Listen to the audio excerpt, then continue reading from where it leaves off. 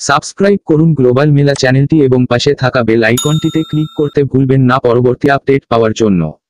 ফ্যানের রেগুলেটর যদি কমিয়ে রাখা হয় তাহলে কি স্বাভাবিকের চেয়ে বিদ্যুৎ বিল কম আসে? বিল কম আসবে যদি আপনি ইলেকট্রনিক্স রেগুলেটর ব্যবহার করেন। বর্তমানে যে রেগুলেটরগুলো ব্যবহার করা হয়, এগুলো ব্যবহারে ফ্যান আসতে ঘুরলে বিদ্যুৎ বিল কম আসবে। আর আগের যেই বড় রেগুলেটরগুলো ছিল, এগুলো ব্যবহারে ফ্যান আসতে বাজরে যেভাবেই ঘুরুক না কেন, বিদ্যুৎ বিল একই আসবে। এত সময় আমাদের সাথে থাকার জন্য ধন্যবাদ।